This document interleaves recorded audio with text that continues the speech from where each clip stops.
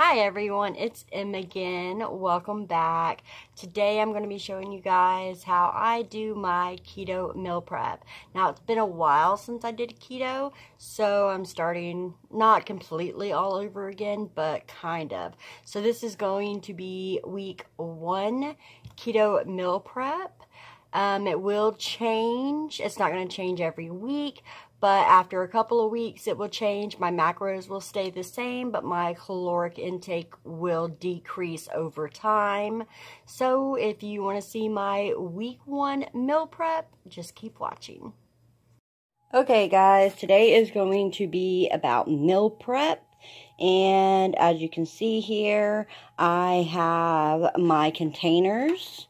I don't use microwaves, so I bought these aluminum containers so that I could put them in the oven or the refrigerator or whatever. Put them in the refrigerator, then just pop them in the oven and heat them up. Okay? If anybody is wondering, um, I bought a whole box of them, the three compartment aluminum tray with lid.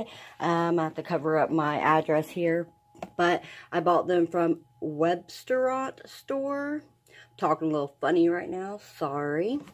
But um, I think with um, shipping, I paid 67 dollars or something like that for 250 of them. We have over here all the food that I am going to be meal prepping this week. I am doing um, drumsticks, I always catch all my meats on sale, or at least I try to. I am doing wild Alaskan salmon. I have a cream cheese. I'm going to do jalapenos, cream cheese stuffed jalapenos, asparagus, broccoli, and spinach. Okay, so I thought that I'd show you guys how I cook all my meats. This meal prep is going to be for six days. So I will have you know, probably three days of chicken and three days of fish, maybe two days of chicken and four days of fish. I really like fish. So the easiest way for me to do it is to put it all on a pan like this, start my oven, it's heating up, and I will cook my fish until it's done, take it off, and then finish cooking the chicken. Okay, so as far as my veggies go, anything that is frozen, which is going to be my spinach this week and my broccoli, I will get unfrozen. I will not necessarily cook it. My broccoli I will cook slightly, only because if you watch my channel, you know that I just had my um, teeth done, and I have an upper plate and a partial bottom, so I'm not I'm only a month and a week in, so I cannot necessarily eat hard broccoli. So I will have to cook that down some. Um, before I wasn't cooking it down at all. I was just making sure that it wasn't frozen, frozen because I want my real weight, not my frozen weight. Frozen weight's going to be different than your regular weight. I will make sure that I weigh everything out on my scale just to make sure that all my macros are correct for the week. If you're doing keto, you want to make sure that your macros are correct. You want to make sure that you're logging everything ounce by ounce. As far as my asparagus goes, I will be cooking that as well, like halfway. And my jalapenos, if I can focus here. There we go. And my jalapenos I will be cooking halfway as well. So we have my jalapeno poppers cut in half, cleaned out, and filled with cream cheese. I use approximately a half ounce of cream cheese in each half.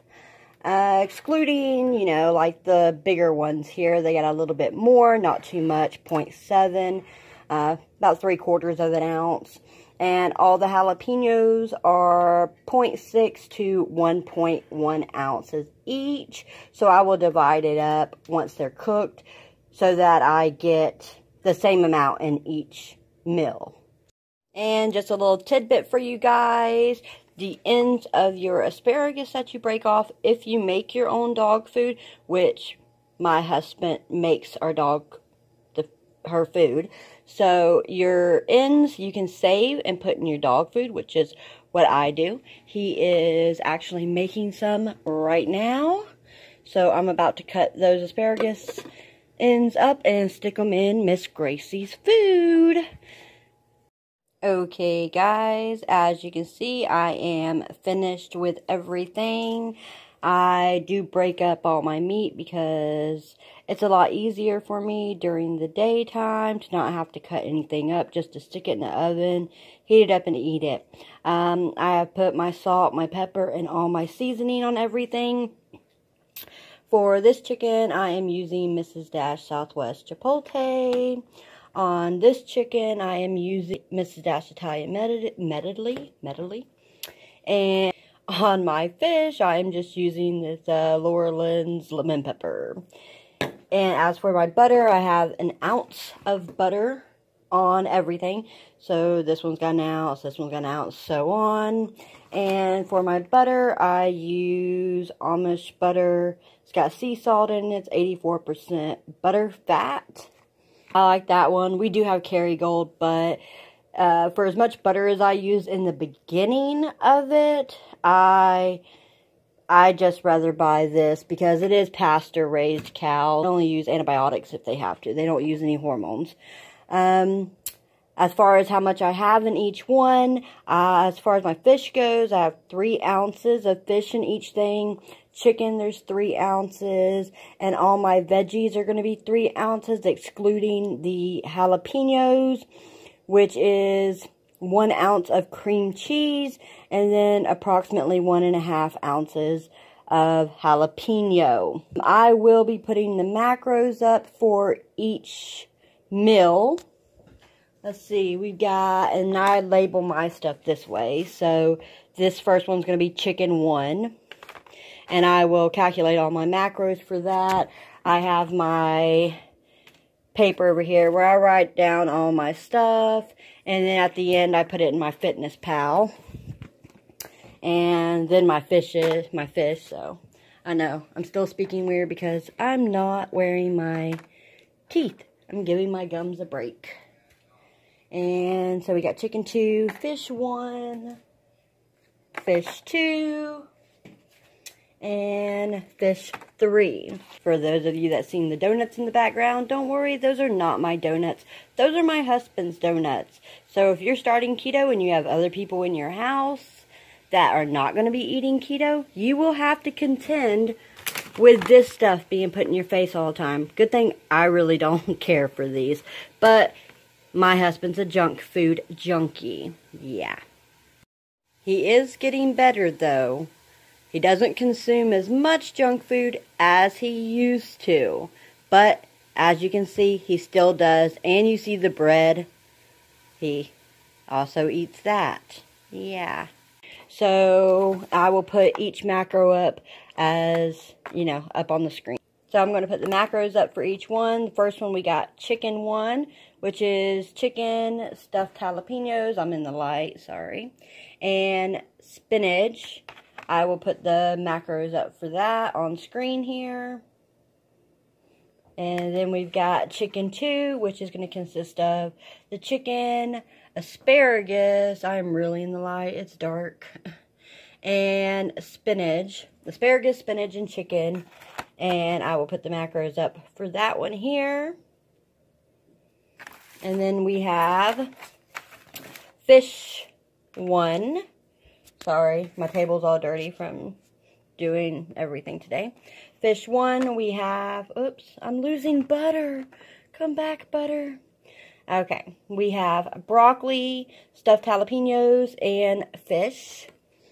And I will put the macros up on screen here for fish one. Then we have fish meal number two which is consisting of fish, broccoli, and stuffed jalapenos. I will put my macros up for fish two here. And we have fish meal number three, which is fish, broccoli, and asparagus. Macros here. And last but not least, we have fish meal number four, which is fish. I'm losing butter again. Fish, spinach, and stuffed jalapenos. Get back up there. And I will put the macros for fish meal number four. There we go. I've got all six dinners done. And I'm now just going to pop them in the fridge. Hope you guys enjoyed week one's meal prep or that it was informative for you. So until next week, bye guys.